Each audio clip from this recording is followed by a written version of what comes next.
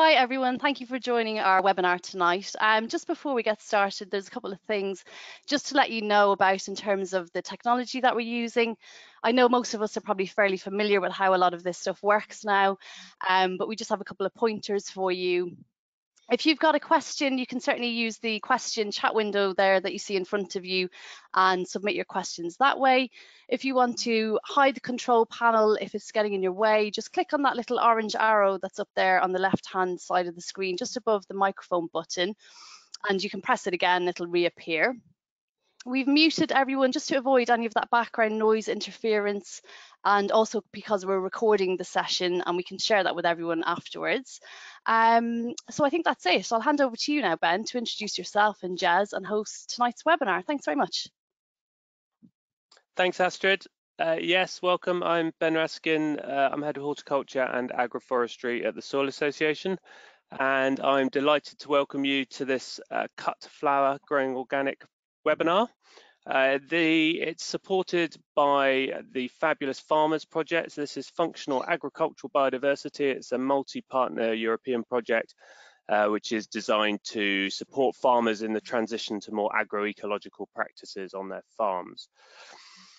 The, uh, this is the second webinar on cut flowers that we've organised, the Organic Growers Alliance and the Soil Association have organised. The first one was more focused on supply chains and on markets. This one is a more uh, growing focused one.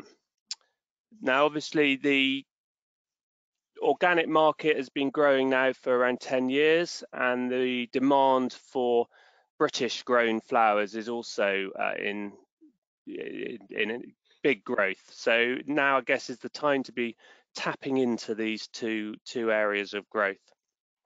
And uh, so whether you're an organic vegetable grower that's maybe looking for new crops uh, and new opportunities, or whether you are uh, already a flower grower uh, and interested in the organic side of things, uh, I reckon tonight will give you some guidance. So uh, thank you, Jez, for agreeing to come and share your knowledge and experience. Uh, you Jez cool I come, Ben? yeah. Jez is the grower at Daylesford Organic Farm. Uh, he took over running the market garden, uh, actually that I set up five years previously. Jez took it over in 2008, so it's been going for, I worked out nearly 20 years now. Uh, he's a hugely experienced uh, organic grower. Uh, I think we're in for a real treat. The way we're going to run the session is going to be quite informal. Um, we, I'll be asking sort of occasional questions of Jez throughout the hour. Uh, so those could be your questions if you've submitted them. Uh, I'll also probably be throwing a few of my own in. He's going to be talking about some individual flower crops uh, as well as some of the more systems-based sort of things like rotations and fertility. So do sort of get your questions going as soon as you feel the urge through the questions box. So welcome, Jez. Tell us, well, tell us about what you're up to.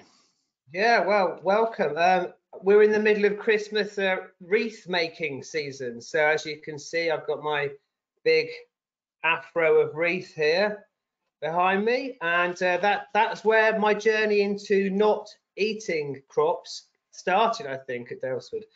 A uh, bit of background about me and Daylesford. I've been at Daylesford since 2008, as Ben says, and um, my responsibility is to supply the Daylesford brand with horticultural products, be it um, salad leaves, herbs, field crops. Uh, but more recently, since 2017, we've been asked to supply cut flowers into the business um, and more uh, plants for plant sales, which is good because it means that a relatively small propagation facility that we had at Daylesford has, has burgeoned because it has much more uh, requirements, beyond things like tomato plants and squash and courgettes and those things that I don't buy in from a third party. We, we buy in a lot of our field crop transplants from Wessex Plants.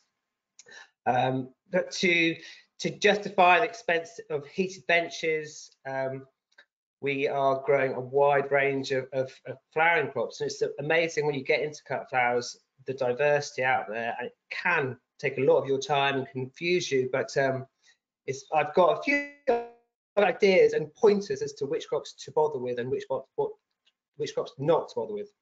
So back in 2017, the elephant in the room at Daylesford was the, the garden room, which is this beautiful um, kind of plush space full of cut flowers, but they're all from Holland.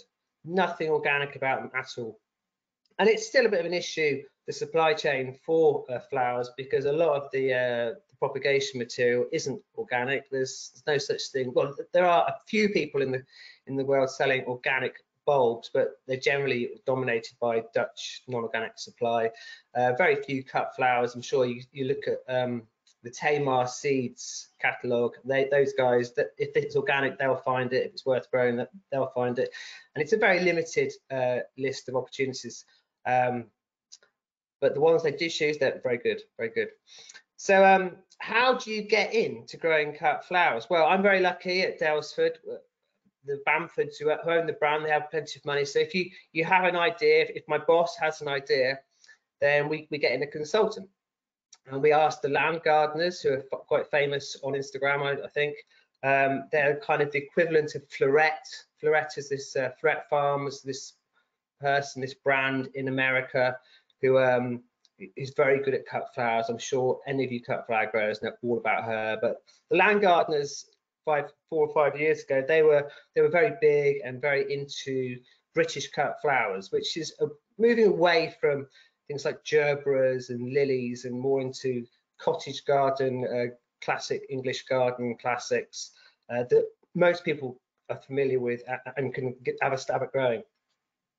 So um, we went to land gardeners and they created this beautiful document, which was a, a list of seasonal opportunities. They presented them uh, this document in two ways, like monthly opportunities. So not just things that you you can specifically grow, but things that you can forage. And when you are based on a big, um, we're a, a 2,000 acre estate farm. There's lots of woodland. Um, there's ornamental gardens. There's all sorts of opportunities that we had to to take over um, floristry for ourselves.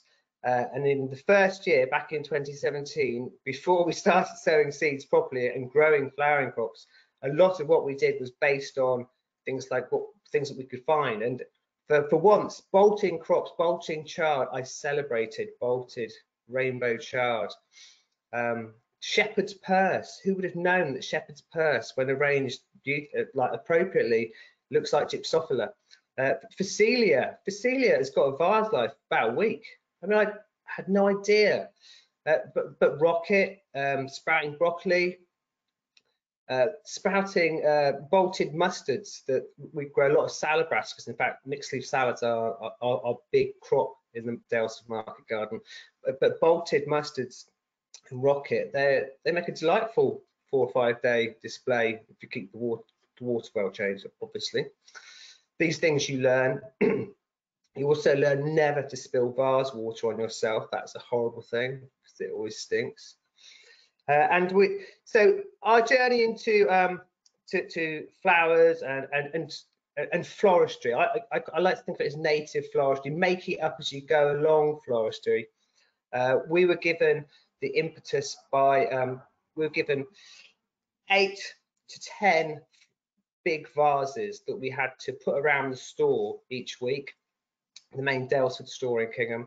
And the whole idea was that we would, uh, twice a week, we would we'd go out, we'd forage bits and pieces, and that, there you go. That's what we can do with just having a little rummage around in the hedge and the fields. And that's a really great way to get going. And at 25 pounds a hit for us as a team, it meant I could budget to employ a, a florist essentially, or a member of staff to do that kind of thing. So that was um, that was that was great.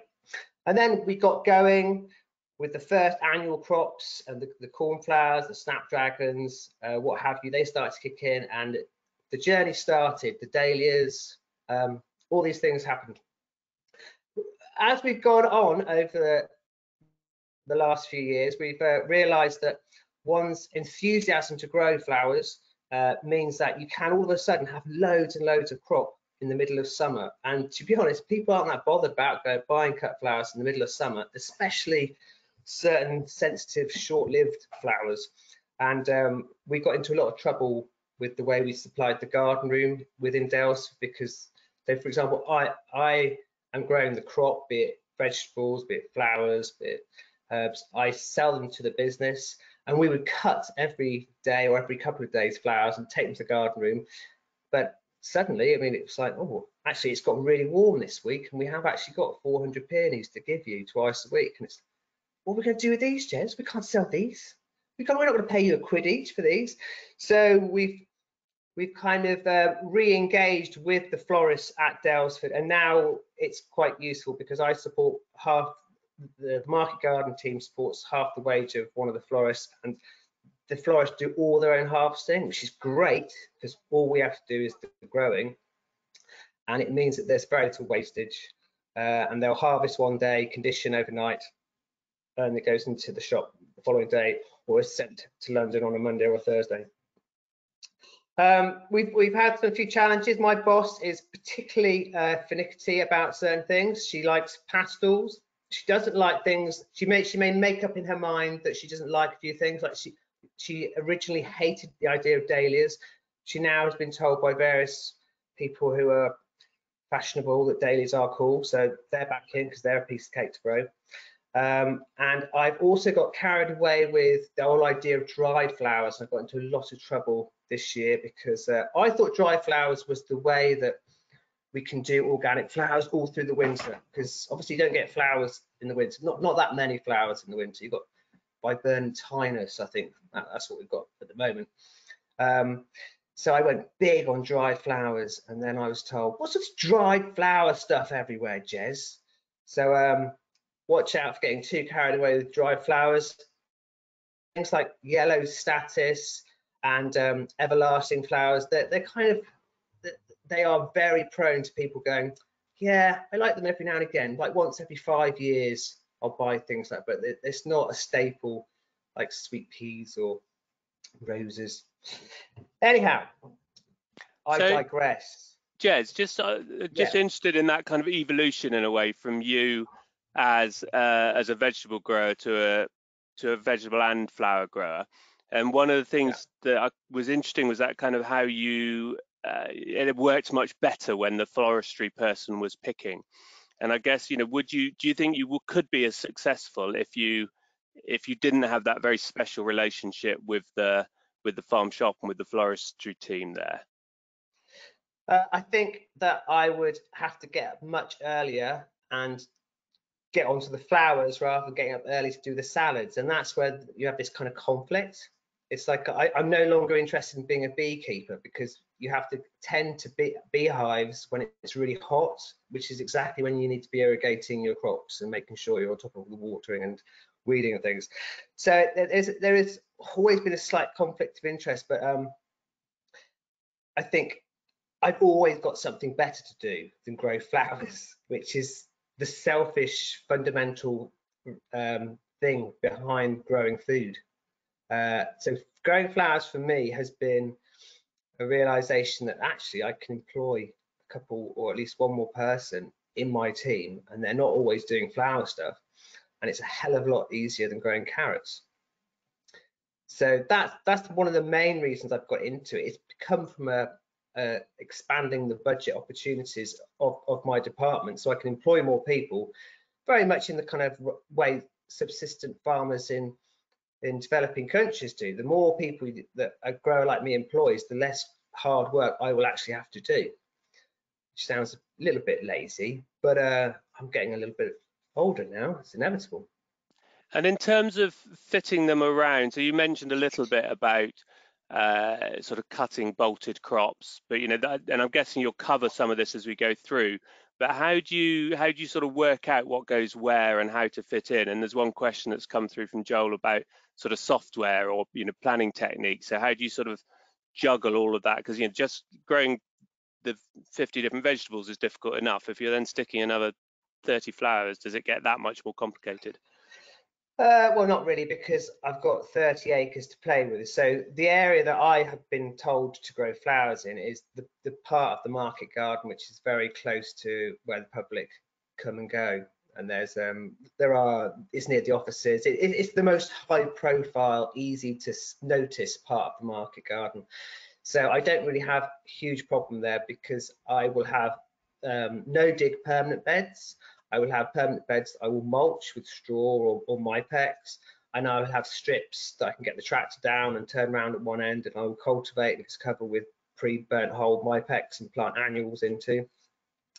So I don't have a huge issue in terms of um, planning. Uh, I think it's more of an issue when it comes to incorporating the flowers into the polytunnels because um, they are it's very lucrative when you can grow flowers in, in polytunnels because you get a lot of repeat cutting, especially with things like um, sweet peas, zinnias. You just get this relentless summer-long um, reproduction of more and more flowers that gives you so many more opportunities than um, quick burst catch crops in, in, in tunnels like rocket and coriander. So it's it's for me, it's more about yeah the, the tunnels. That's that that's where I have to do most of my planning because I have quite large areas to fill. Yeah, great. So the first group I think you wanted to cover was bulbs.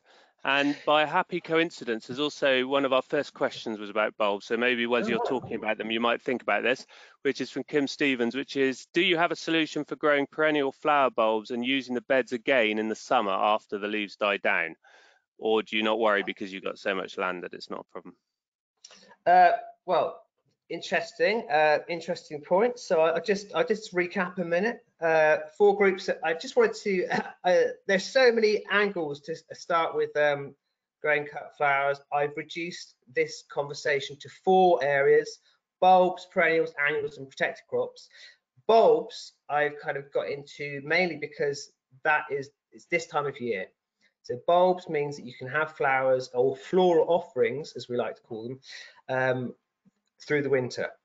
You can use your heated benches in your propagation space. You can get them started in your warm shed, in your house, in your outdoor toilet that's got a heater in it, something we do at work. Um, and you can get, really get going with potted narcissi, hyacinths, muscari, fritillary. Um, and then, but you can also, during September, October, even November, uh, we'll be planting tulips and daffs, camassias and alliums uh, outside in the in the in our no dig beds predominantly. And uh, to answer that question, uh, the tulip bed you see in this slide here, uh, when the, all those tulips were pulled up, um, I, am quite disturbed to see that many blooms in a tulip bed because obviously the uh, the one the person making money should pick the tulip before they open up. But when those tulips had finished, we planted cosmos over the top so, uh, yeah, the whole thing about um, planting annuals over bulb beds is just make sure that if the normally when the bulbs die back, you've got some stalk um, like present to make sure that when you dig a hole, you're not going to damage the bulb underneath. So you, you either specifically plant bulbs with gaps in between so you can fit in uh, annuals to plant over the top, or um, you risk just chucking them in on top. Anyway, let's get back to bulbs before I was uh, there. Uh, yeah, so the season starts and um, we have got quite into the whole paper whites thing. I don't know if you know about paper whites, guys. Paper whites are a daffodil that or narcissi that will respond to water and um, warmth and you take this bulb and you put it into a pot. It can be a pretty terracotta pot. It could be a nice rice husk pot. And um, within, after six weeks, six to eight weeks, depending on the water and the temperature, you've got a flowering scented um, narcissi in the winter. It's, it's quite a revelation. Sorry if that's if that's uh, old news to you guys, but that that's the kind of thing that we, we're getting started with now. Um, it makes a big it's actually quite a significant part of the season because you're relying on these potted bulbs right the way through from from christmas uh, mid-december um or actually even right now uh, right the way through to to mid of march and it's not until you get into the warmer days of march that the tunnel crops you've been growing uh, like the anemones and the tulips they start to kick off and the season uh, beyond containers can really begin um, but a lot of these bulbs, tulips, it's it, it's an unusual thing. When you buy tulips from the uh, the Dutch lorry, they are generally quite small-headed, um, and as a result, they're like that, so they travel easier and have they've basically got a better life. We tend to grow bigger varieties, um, which will be up to half a meter long and quite have quite big heads, and that those are the kind of varieties and the the fancy frilly varieties you want to be focused on to get um, get people's attention to convince people to spend some, somewhere in the region of uh, 70 to a pound per stem. And that is the great opportunity you have with, with things like these bulbs. They cost about 25 pence, between 20 and 25 pence each. There's companies, Parkers and Peter Nyssen, they're the, they're the, they're the main ones. Anybody else like Sarah Raven and, and Bloms, you're looking at spending significantly more, so you're probably not going to, to use them.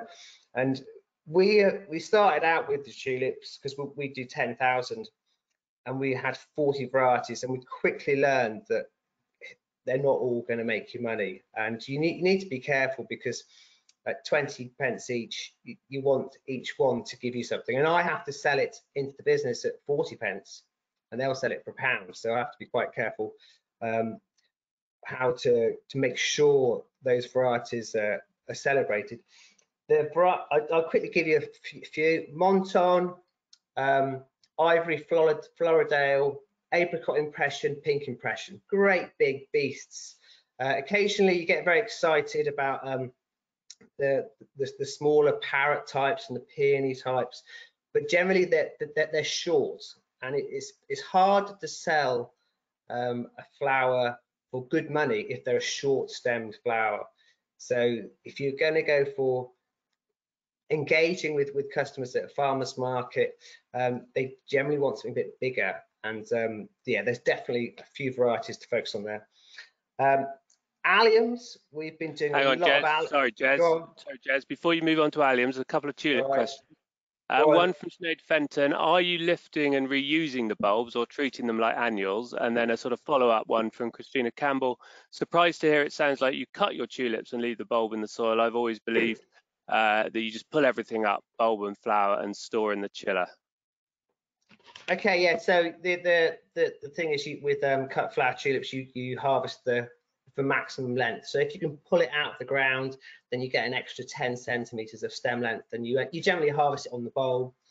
Uh, what we found, uh, which was a bit, which is to do with our clay soils actually, is that sometimes the bulbs um, that they get stuck so that they snap. Uh, that for that reason, I I don't tend to uh, just cultivate the old tulip beds. I, I, will keep them because I know I'm going to get a flush of smaller uh, tulips the following year, uh, and they're very relevant. So you can make small hand ties with the with the, the tiny tulips, and they're quite delightful actually, because um, obviously in the spring as many tulips as possible, really.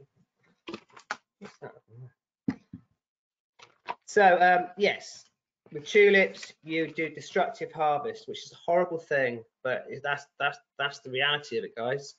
And if I'm buying for 20 pence, selling for 40 pence, I need to really have very few failures. Um, I'm just very lucky to be part of an enterprise that can tolerate that. But I do celebrate any failures, as in if um, if the bulbs do stay in the ground and they flush again the following year because I'll overplant with annuals in the summer, I've got two bites of the cherry. And we always like two bites of the cherry, don't we? Uh, summer bulbs, just want to point out summer bulbs. I kind of question the need for summer bulbs because there's so many other things going on in the summer, but something called Acidanthera, which you plant in April, May, that's an absolute delight, guys. It's, it's slightly scented. It comes in sept from September through to November which is why it's relevant because you have something at that back end. Um, and they're really easy, like gladioli. Gladioli, my boss doesn't like, so we don't grow those. Um, and do you know what gladioli are so they, are here today, gone tomorrow. I just sometimes it's they're, they're too much hassle because they're yeah they, they always come in August when it's hot uh, and it, they're risky.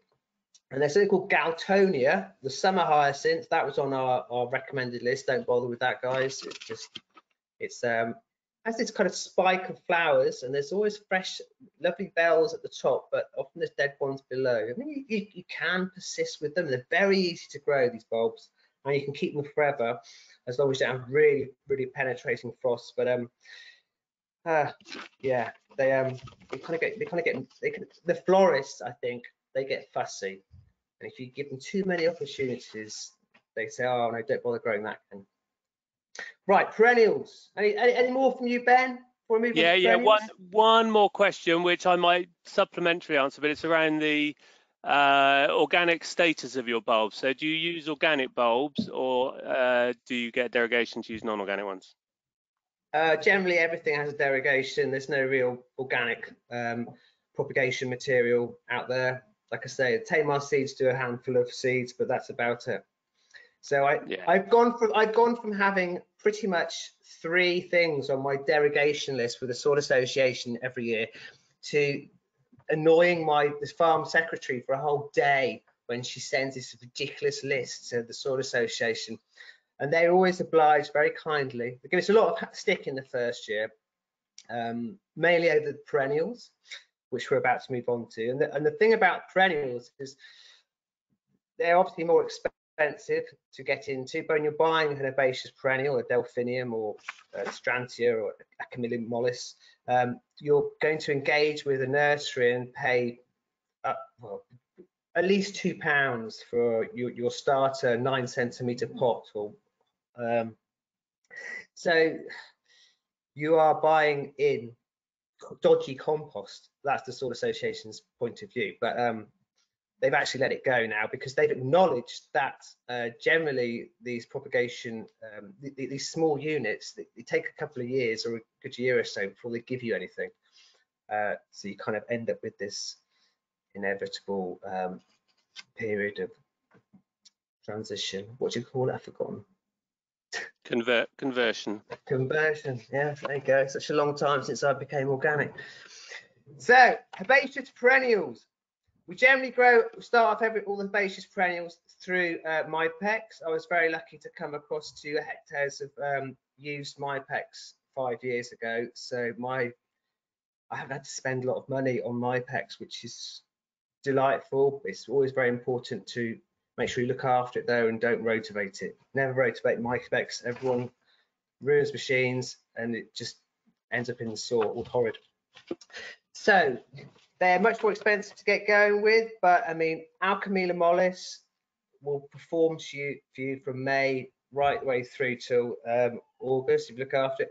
The Astrantia delphiniums, I mean, who's not going to buy a delphinium? Some people can will spend five pounds on a uh, spend a pound a foot on delphinium stems, which is why we've ended up growing them in the polytunnels actually, because uh, why not? Eh?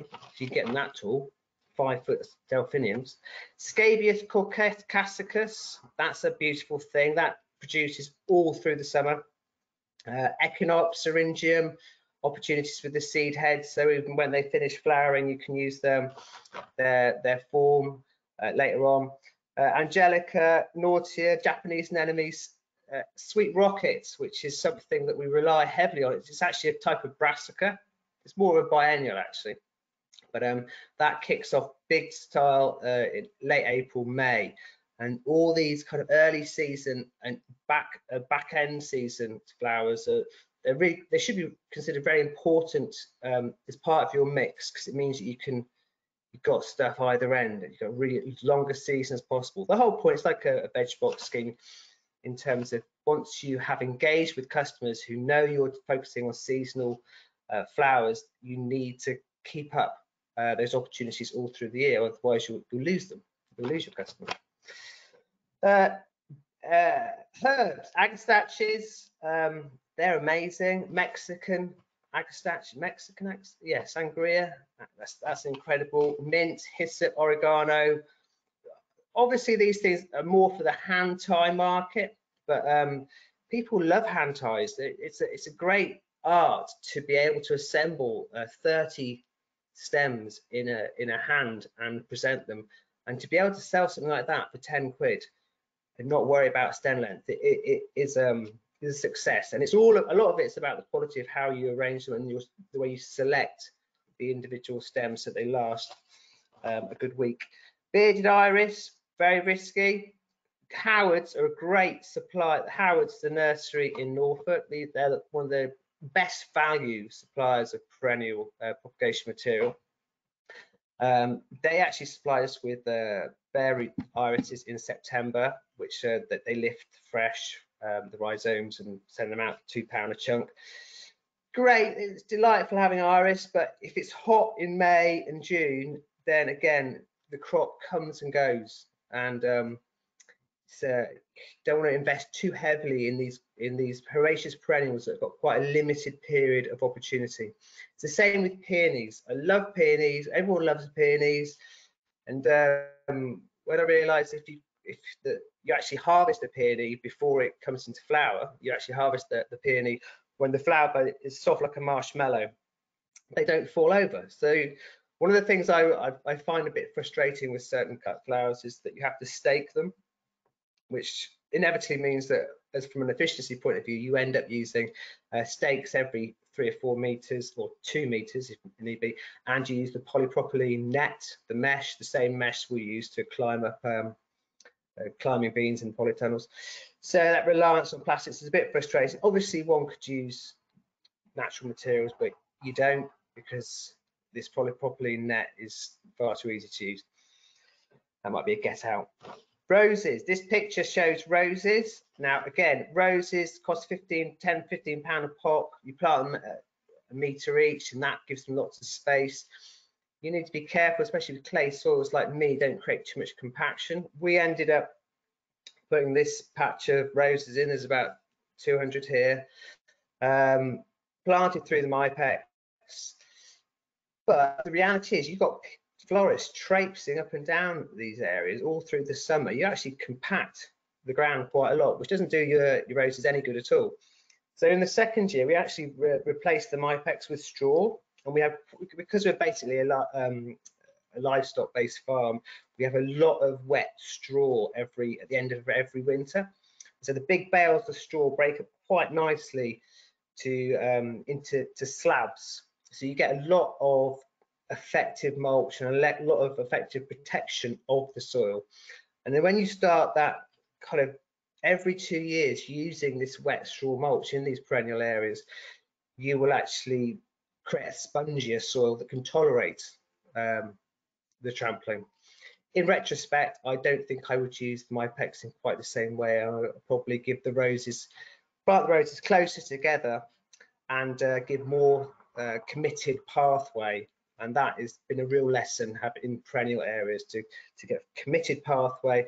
And then at least in those in the beds or the, the growing space you you can come in at a later date and use a broad fork to alleviate compaction which i pointed out was an issue with our um, clay soil. Uh, i would talk about favorite varieties of roses but i haven't got all day so i won't do that. Uh, and uh, yeah, this year I I always get excited about trying to get ahead of the green fly on roads. Never have a problem with green fly at Daylesford. Um, have occasionally on some peppers in the polytunnels, but green fly do love to go on roses. So um, I get the Savona out, give it a spray. This year I started spraying roses, then I noticed the ladybird larvae, and uh, Joe was Joe Wright was pointing out earlier to me how isn't it wonderful growing flowers? It's so wonderful for the predators. Um, and the pollinators, and she's absolutely bang on. We've got the best uh, population of ladybirds these days. And so I, I stopped spraying um, the soap, and uh, yeah, the next week the uh, aphid problem had, had sorted itself out. So there you go. Roses don't have to be problematic. Uh, they're just annoying because if they get wet on the bloom, even if it's a white bloom, which is a bud that hasn't properly opened, then the, the petals go slightly brown. So as a result, we've actually decided to move all our white roses uh, under a, a, a purpose-made open open-sided polytunnel. But they're worth a quid a stem, guys.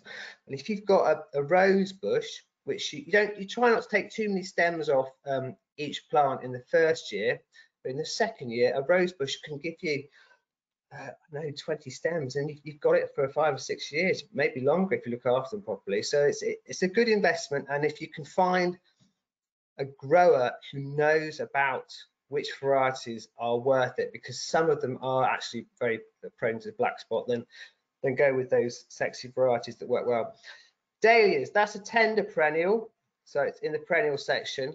Um, they are they are they're big they're doubles they're singles they're pom pom they're cactus all sorts of types but they're a piece of cake to grow it's like growing a potato and you're always going to get something on even in the first year you buy a little uh, uh, tuber from Parker's or whoever, and they cost the best part of a quid. But you're going to make a few quid out of every one of those. You'll make a plant which is a good four foot tall, uh, and, and, you've got it forever. Uh, to lift or not to lift dahlias, I I'm not lifting my dahlias this year. How cavalier is that? Um, it didn't really have a the ground didn't have a penetrating frost last year, so I'd rather not bother. So I've got, um, uh, we had to replace the cover on a polytunnel this year and I'm going to end up using a couple of bits of old broken up fleece and an old polytunnel cover to cover the dahlia bed and hopefully that will mean I don't have to lift it again. I have to lift them. Do you get any um do you get any slug or mice damage over the winter or not if you leave them in the ground? Uh I don't know yet. We left them in I, I did dig them up last year because the piece of ground they ended up in last year uh, gets wet in the winter, so they would have rotted. So this is the first year I've left them um, then, but I know other people nearby who just leave them in all the time and go, why are you bothering doing that, Jez? That's a waste of time. And I'm like, well, obviously I'm going to jump on that bandwagon, aren't I? like, uh, so there's also, sorry, a question on getting long stems on roses and dahlias. He says he's tried some of the pruning techniques, but they don't always work.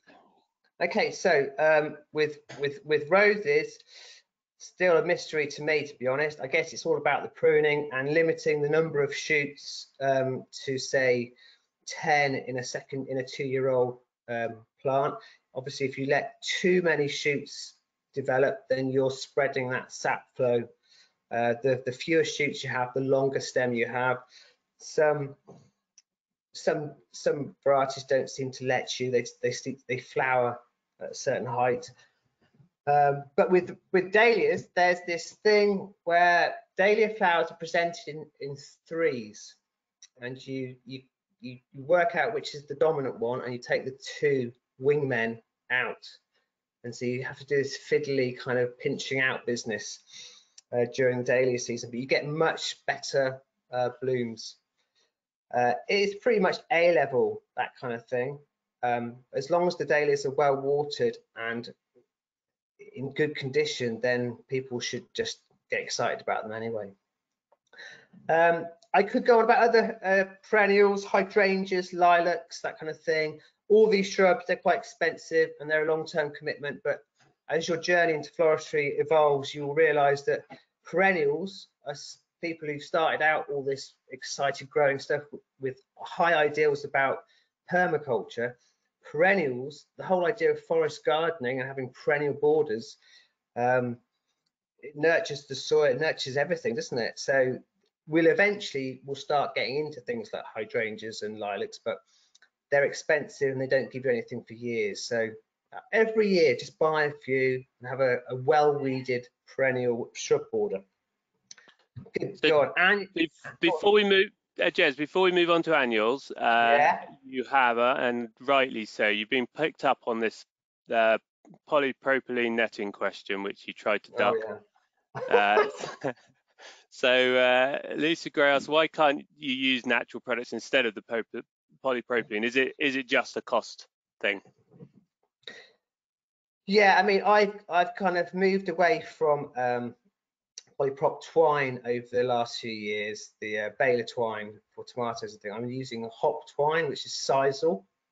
And I, and I, I use I use the sisal out in the garden. Um, but the netting thing, it's very hard to get away from that. I mean, I, I don't have that. When you have uh, the sweet peas, I mean, I could, I guess I could. I mean, it's a, it's a valid question. The whole idea of growing sweet peas up a, up um, 50 meter row of sweet peas up hazel sticks. I could go and harvest those uh, and I could create a supported structure. but the when you set up a, a line of net with hooks off a wire from the top of a polytunnel, it's just so easy. Uh, and they it has very consistent supports all the way along itself. It's uh, it's a bad habit, I admit. It's a bad habit, I admit, and I maybe one I should get out of. And I think as Daylesford moves into being a much more um, user area, as in it's going to be used much more by people um, on floristry courses and things, then I will be under pressure to perform aesthetically, which is all the wrong reasons, actually. I'm sorry about that. That's it's fine. Convenient. It's convenience. yeah, and there's a suggestion, well, actually a couple of suggestions here. One from Sarah Webb, have you ever used chicken wire? I'm thinking of trying it next year. Um, Fiona Hayes, a business says we use a metal grid that we reuse every year for our sweet peas. And she also made the point that you might need to look out for the slugs when the dahlias start to shoot. Yeah, well, I uh, yeah, I, I realised that. I mean, we I'm actually growing dahlias through municipal waste um, in the beds of municipal waste, and we'll give them a top, we'll give them a fresh dose. Not that that's going to help with the slugs, uh, and I will probably end up, yeah, I'll probably give them some ferrous phosphate, little punnet ferrous phosphate on there, which is the nice slug pellets. Everybody, it's just minerals, it's just salts, uh, just applied at the at the right time. Um, yeah, the whole thing with um, with the with the trellis and and the plant supports is when you're doing long rows. That, that that's it. It's, it's great to use all sorts of things. It's I, am talking about volume production, and um, if you start to get excited about volume producers like Floret, um, like Green and Gorgeous, Rachel at Green and Gorgeous, they will all they'll, they'll use a mixture of all method depending on how many of each crop they're growing. Uh, but that in itself is one of the great things about getting into cut flowers because you're growing smaller numbers of uh, different types of crops compared to field cropping of vegetables that allows us to develop the, the no dig part of um, our enterprise, whereas a lot of the, uh, because I have this vast space, everything else is done on a kind of two meter bed formed kind of space uh, encourage which encourages cultivation uh, and and weeding through um, setups on, on tractor-based implements. Anyway, let's move quickly on to annuals because um, it's very hard to keep um, our, our, our, kind of concentration levels up on a Tuesday night.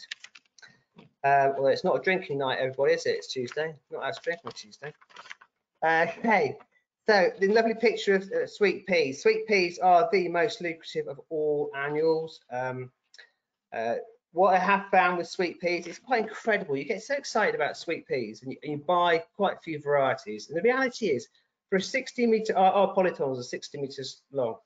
You actually only want one pea every 20 centimeters. And the reason for that is if you if you plant too many peas close together, then when you get into the height of summer, they're all competing. The, these plants will get up to eight foot tall if you let allow them. They generally don't because you're taking the tops out of them the whole time. Um, but if you if you plant too close together, you get burnout. And it's always incredible when you go to garden centres in April, May, and you see sweet peas up for sale because there'll be multiple uh, peas in a pot. And nurserymen do it because they can put a few peas in a pot, and within three weeks they've got something that looks like they can sell them. But people will then go and just plant them like that, and then they're, they're always surprised that the peas don't get very tall it's always important to kind of yeah just um just grow one in a in a in a nine centimeter pot. Uh, ideally you you you raise you, you sow them early around now so that when you get to plant them out in your polytunnel um, in in January February they're they're quite well developed root system uh, and you, you, you pinch them out. But yeah I mean we we in the polytunnels we will be cropping uh, sweet peas pretty much for 10 weeks which is amazing because the the, the florists will go in there and they'll harvest best part of 700 stems every day. It's just, it's just incredible. And everybody loves a little bunch of sweet peas. And at that volume production, you can sell them for four or five pounds a bunch. And people just think, oh, that's that's nice. I'll have, I'll have those. Make my toilet downstairs loo smell nice. Um, other blatantly obvious um, uh, annuals, uh, things like uh, sunflowers, they're a bit unpredictable. Uh, but the biggest realization with annuals has been the hardy annuals. So what are hardy annuals? They're, annuals that can be outside during the winter. So we're talking about larkspur, cornflower, clary sage, scabious, corncockle, nigella, honesty, ammi, poppies, echium, daucus. If you can remember or schedule in your busy lives to sow these things in September and raise them as young plants and start to plant them out um, into your no-dig beds from October, uh, November. We're still planting a few um, scabious and sweet rocket now, actually, um, but um, you can actually sit on them until next spring and, and, plant them then as well. But you get completely different crops from these annuals if you uh, raise them over winter. Cornflowers, four foot, five foot tall in, in June. Whereas if you sow a cornflower in, in February, March, you, you're barely getting up to three foot tall. An absolute revelation, guys. And generally, you can incorporate these. Um, if you're a veg grower, you can incorporate the, the, this work into your schedule because you, there's not a lot of competition in the propagation space in September. Right, unless you're going to interrupt me, Ben, I really want to go on to protected crops. Crack on. There's a couple of questions, but you crack on, and we'll, if we've got time for them, we'll cover them when you're done. Okay, so protected crops we're using gaps in the in the in the polytunnels. Um, we've got a bunch of polytunnels, and half of them uh, every summer are down to tomatoes. Uh, the other half will be down to cucumbers, herbs, climbing beans, what have you.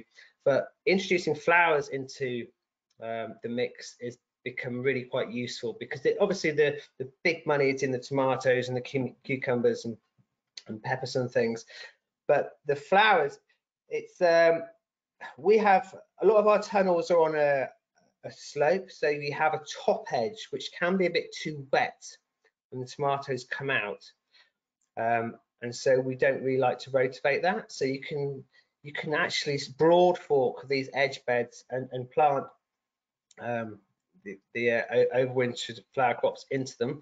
Uh, anemones and ranunculus yeah, anemones and ranunculus. Who knew I'd get excited about those? But they are amazing. This photograph here is of um, anemones.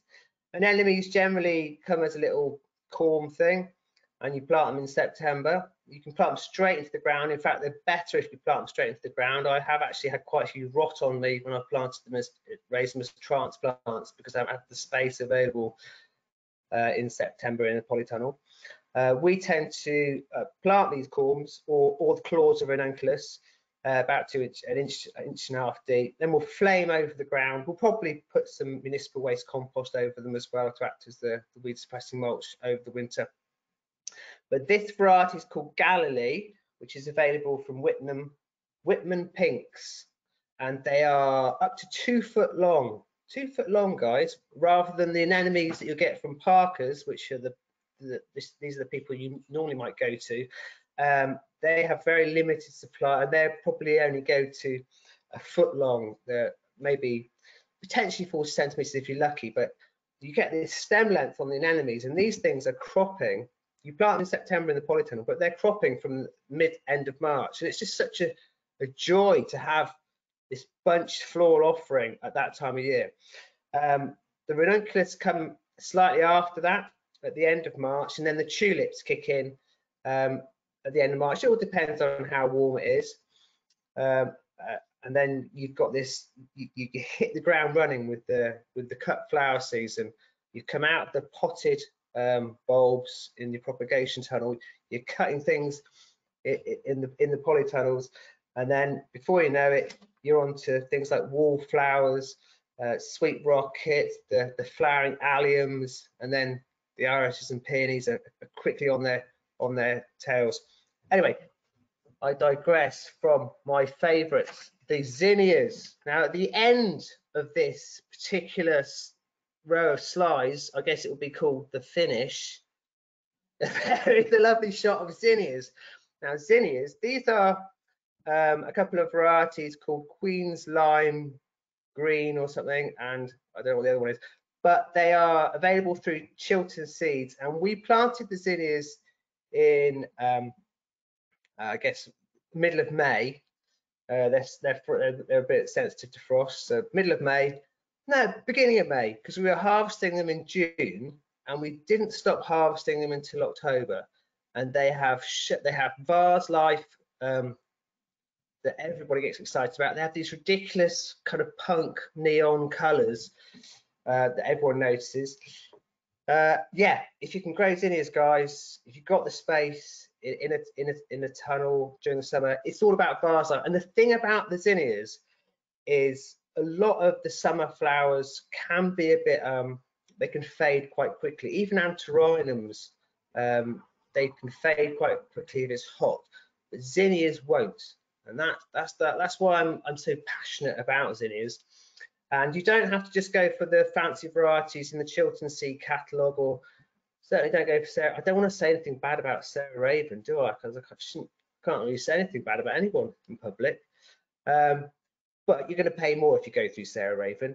Chiltern seeds also quite expensive, but uh, King seeds they did uh, purple prince, and that that performed brilliantly. Great big long stems, great big blooms, um, and you think purple is actually it's purpley pink and lots of colours in between. So, but that was um, that was a real hit because it was just a packet of seeds for a fiver, and we got a couple of hundred plants off that off that one. Whereas the Chiltern seeds, they specialize in small amounts of seed. Sometimes they don't germinate, so you have to buy multiple seed packets. And before you know it, you're spending a fiver on 25 seeds, which is a bit annoying if you are worried about germination success. And germination success, growing your own flowers, that is that is a big deal. Um, because that can really make uh, this whole journey into flowers feel like a great opportunity. You can have a quite a limited financial outlay to huge gains. Like I say, less than 200 sweet pea seeds for what would have been, you know, 6,000 stems, I imagine. Um, but uh, do be wary of uh, spending too much money on on, certain seeds, uh, but equally, it's more about whether you have the capability to grow them, uh, to germinate them successfully, and do not get too carried away with those fancy perennials that you see in the Chiltern Seed catalogue that really are quite impossible to germinate and annoy the hell out of you. Um, and but there are certain tricks as well. I mean, if you are horticulturally uh, geeky, then look it all up. I mean, with foxgloves, I've sown foxgloves at stupid times of year, February and March. What was doing that for? You sow them in June, it will germinate. And if you buy pelleted seed, and you can actually see what you're doing, and all of a sudden you've actually done something quite useful and you, you thought, I'm not going to buy pelleted seed, that's far too expensive. But in actual fact, you can see what you're doing. It's a, it's a real revelation, these small seeds that you can properly manage and then do a proper job on germinating. Uh, we, I was quite lucky actually. I convinced um, to germinate a bunch of things for us this year, and they did they did quite well. Um, had hundreds and hundreds of everlasting flowers that helichrysum, and I like, "Yay! I'm going to dried flowers. We can make fancy Christmas decorations with them." And then my lovely boss said, "Oh, I don't like those." And that was that. A shame. So, Jez, I know you've got a couple of sort of um, roundup points to make. There's a few, uh, actually too many questions now to answer, so apologies if we don't get to yours. But there were a couple of ones around sort of rotations and green manures. So, you know, do you have a rotation for the flowers? And what green manure crops can I grow when annuals have died, quick growing varieties? And I don't know whether that also maybe links into recommendations on good productive foliage. Um, well, to be honest, I don't the no dig method the no dig committed beds when the annuals finish then we just go in there dig them over put some fresh um, compost on top and, and, replant. So we haven't committed to green manure rotation strategy yet. But generally generally i I have realized my biggest error has been trying to commit too much ground. And if you commit to too much ground, you end up letting things go to seed. And if you get things going to seed, some people go, oh, that's great, that, that stuff self seeds all around my patch. It's wonderful. I don't have to plant it anymore. But in reality, if you've got 20,000 red poppies everywhere. I mean, no one's going to buy them. it's uh, you have to manage your your your no dig beds with this amazing fine tilth compost that you use really carefully. Otherwise, you just create more problems for yourself. Um, so yeah, in terms of in terms of that, we're not using green manures in that context. Um, green manures for me is a gap filler. So when, for example, onions and potatoes fill, uh, finish at the end of the season, I took Phacelia down. Uh, if, if I'm got ground that is available that becomes available in in October, then I'll use Italian ryegrass. Um, or long-term fertility building with the clover, which is under undersown in the brassicas and, and the squash um, during halfway through the growing season. But I don't get hung up about trying to incorporate them into the, the flower element actually. Reality.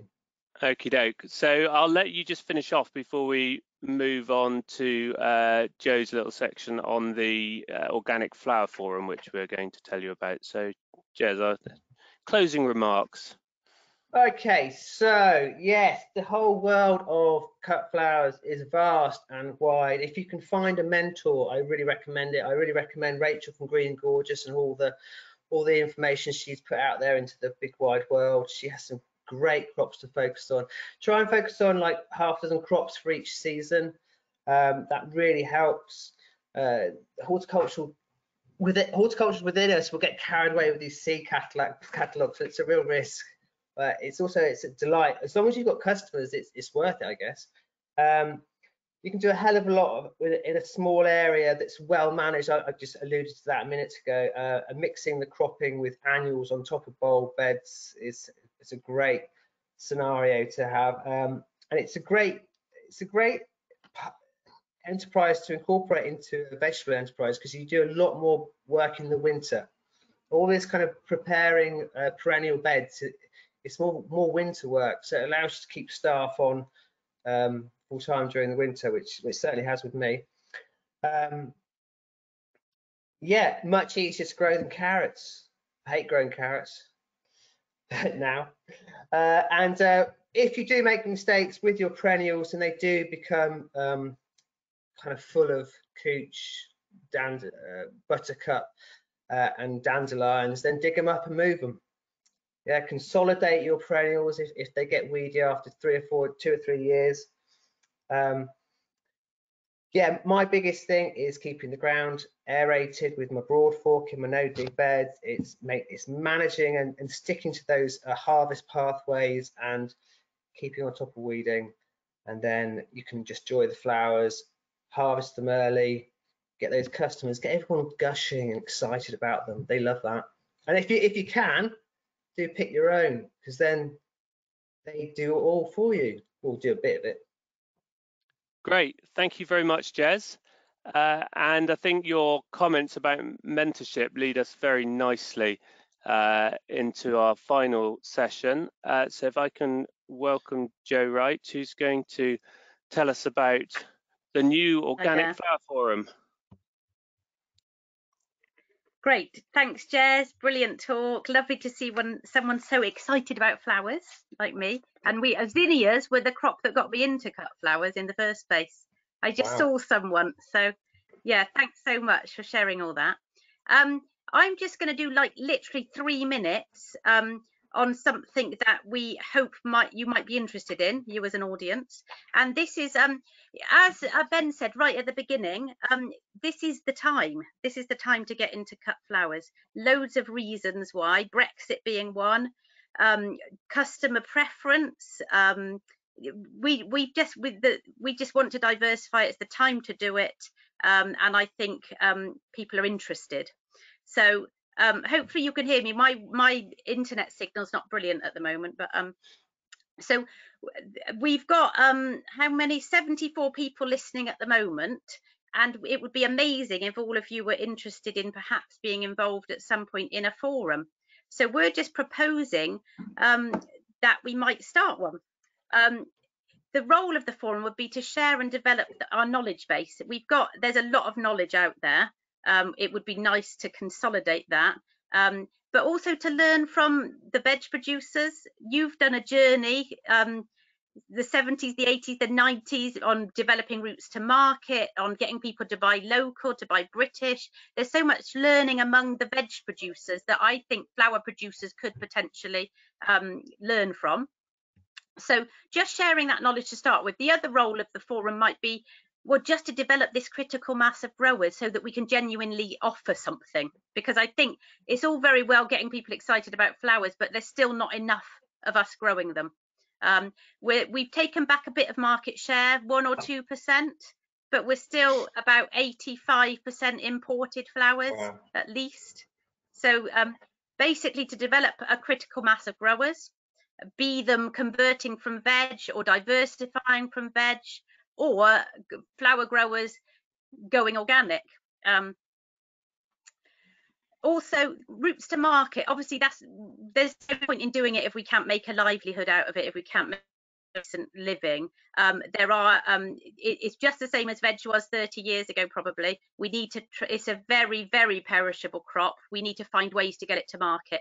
Um, be it um, I don't know, cooperatives. I've got a few ideas, but that would be what we would discuss um, basically in the forum. Um, but yeah, there's there's going to be multiple routes to market, and it would be great to um, really get some consensus. Of, well, it doesn't even have to be a consensus, but some people um, really showing that it can be done. I think.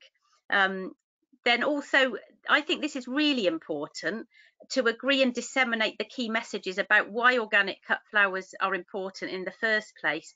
There's a hell of a lot of greenwashing at the moment out there. There's a lot of people getting on the sustainable florist bandwagon, um, eco florist, sustainable florist, and that tends to mean that they just take the plastic wrapping off the flowers before they Ooh. sell it. There, there is a, a yes, yes. Yes jez it does happen. Um, there is a lot of people who are, are, actually jumping on the sustainability bandwagon but they're not really doing it. So i think that we really do need to say this is what organic cut flowers or british flowers are you know um, so sending those messages. So can i have the second slide please uh, Astrid I think there is another slide, and that's a kind of proposed date. I it's don't come, think I could, yeah, come through. It's come so through, yeah. It, yeah, got it, got it. So the the format would just initially, if we're still in this horrendous situation of having to do everything on Zoom, um, we we we would propose a Zoom um, date in January, and I've literally thrown one out as Wednesday, the 20th of January. Um, this is a grower-led forum, um, but um, the OGA and the Soil Association, who are brilliantly supporting us now, would still remain in a kind of supportive role um, administratively or, or just disseminating, um, you know, the information. Um, so really, all my role is tonight is to say, do you want this? Are enough people interested? And I think that it's um, if you were happy to get in touch with the Soil Association to say, preferences around daytime, evening, and um, really just get your names on the list. Does that sound enough, Ben, just to kick it that's, off? Yeah, that's perfect. Thanks, Joe. And um, Astrid's going to share um, a short survey now so that you can effectively join, you know, put yourself forward to join that, but also there might be uh, there's a couple of other questions just sort of help us work out who was listening tonight and you know the, the opportunities. Um, there's also, if you've, if you've got to rush off now, there is a chance to do that. It'll get sent through as an email as the follow-up to this webinar as well. Um, so as Astrid shares that, I'm going to just uh, wind everything up. So thank you very much, Jez, for sharing your expertise. It's, it's delightful to be part of the network. There you are, your first back, member, back Jez. Uh, thank you, Lovely Jay. Lovely to have you, Jez. uh, thanks, Thank obviously, thanks to support. thanks obviously also to Astrid for all her organisation and to Greta and Jim from the Organic Growers Alliance for helping to organise tonight as well. Greta's been on the uh, on the uh, slide duty. Um, and on this final slide, thank you, Greta. There's uh, a few links for where you can get more information. So there's the Fabulous Farmers, the Organic Growers Alliance, and if you're not a member of the Organic Growers Alliance, do join. It's although it sort of is or has been predominantly vegetables. I think there's more interest in flowers from the members. And if you're interested in the organic techniques of vegetable growing and plant growing and rotations and fertility and things, the uh, Organic Grower magazine is fantastic um, and they have uh, uh, email uh, web forum as well that you can sort of ask questions. So uh, and a lot of the vegetable growers will also be doing or have been doing some flowers. So that's a great resource. Uh, and obviously the Organic Flower Growers Forum, which Joe has introduced, will be now be happening, at least if maybe just Joe and Jez, but hopefully more of you, uh, in January.